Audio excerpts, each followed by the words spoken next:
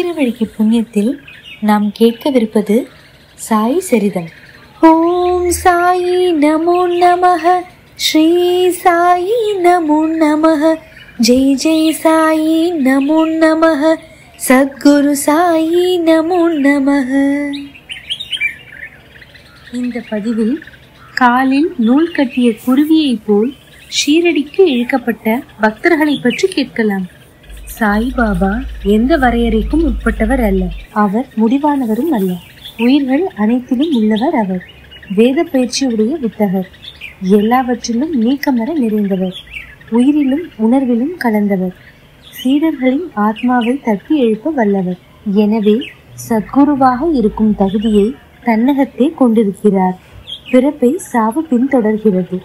பாபா இவை இரண்டையும் இல்லாமல் ஆக்குபவர். எனக்கு உகந்த பக்தன் எவ்வளவு தூரத்தில் இருந்தாலும் காலில் நூல் கட்டிய குருவியைப் போல் ஷீரடிக்கு இழுக்கப்படுவான் என்கிறார் பாபா. இந்த பகுதியில் பாபா கூறியது போல் காலில் நூல் கட்டிய குருவிகள் பற்றி காணலாம். பம்பாயில் கண்டெடுத்த குருவி. பம்பாயில் அச்சகம் ஒன்றில் பணியாற்றியவர் லாலா லக்ஷ்மி சந்த் அக்டோபர் மாதத்தில் ஒரு நாள் இரவில் ஓர் கனவு. அதில் தாடியுடன் ஒரு முதியவர் பக்தர்கள் சூழ பம்பாய் சாந்தா குரூஸ் என்னும் இடத்தில் நிற்கிறார். கனவு கலைந்தது. ஒரு சில நாட்களுக்கு பின் தனது நண்பர் மஞ்சுநாத் பீஜு அவர்களின் இல்லத்தில் ஏற்பாடு செய்யப்பட்ட தாஸ்கனுவின் சொற்பொழிவை கேட்க லாலா சென்றிருந்தார். அங்கே தான் கனவில் கண்ட வயதான கிழவரின் படம் இருப்பதை கண்டார். அதன் பிறகே லாலா லக்ஷ்மி சந்த் தான் கனவில் கண்டது சாய்பாபா தான் என்ற முடிவுக்கு வந்தார். படத்தில் பார்த்த பாபா அவரை ஷீரடிக்கு ஈர்த்தார். அங்கு அவருக்கு கிடைத்த தாஸ்கனுவின் பாடல் துக்காராமின் வாழ்க்கை வரலாறு எல்லாம் சேர்ந்து உணர்வு தூண்டப்பட்டார் லாலா லக்ஷ்மி சந்த் அன்று இரவே ஷீரடி செல்ல ஆயத்தமானார். உடனடியாக தனது நண்பர் சங்கர் ராவ் அவர்களை சந்தித்து ஷீரடி வருகிறாயா? என்று கேட்டார்.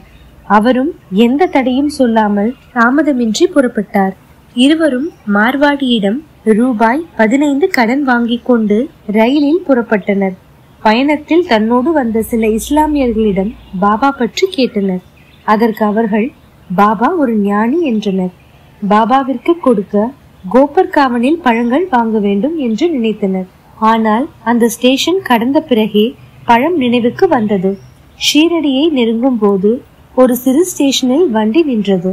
அங்கே ஒரு கிழவி பழம் கொண்டு வந்தாள். அவர்கள் வாங்கியது போக மீதி இருந்ததை அக்கிழவி அவர்களிடமே கொடுத்து இதனை என் சார்பில் சாயிக்கு கொடுங்கள் என்றாள். இது இருவருக்கும் பெரும் வியப்பை தந்தது. ஷீரடி சென்றதும் மசூதி சென்று பாபாவை மனம் குளிர தரிசித்தனர். பாபா ஏனோ என்னை பற்றி பிறரிடம் விசாரிக்கிறான். எதையும் நாம் கண்ணால் கண்டு தெளிய வேண்டும். காதால் கேட்க வேண்டிய தேவைக்கு என்ன பொருள்? உன் கனவு மெய்யா பொய்யா என்று நீயே பார்த்து தீர்மானி. மார்வாடியிடம் கடன் பெற்று என்னை காண வருவதற்கு என்ன தேவை வந்தது? சரி இப்போதாவது ஆசை நிறைவேறியதா என்று கேட்டார். வரும் வழியில் நடந்தவற்றை பாபா எப்படி அறிந்தார்? என்று திகைத்து திக்குமுக்காடி நின்றார் லக்ஷ்மி சந்த் பாபாவை தரிசிக்கவோ அல்லது விழா கொண்டாடவோ புண்ணிய யாத்திரை செல்லவோ கடன் பெறுவதை பாபா எப்போதும் விரும்ப மாட்டார். ஒரு நாள் லக்ஷ்மி சந்த் நண்பகல் வேளை ஒரு பக்தரிடமிருந்து சன்சாவை பிரசாதமாக பெற்றார். மறுநாளும் அதே போல் சன்சாவை பெறலாம் என்று விரும்பினார். ஆனால் அது நடக்கவில்லை.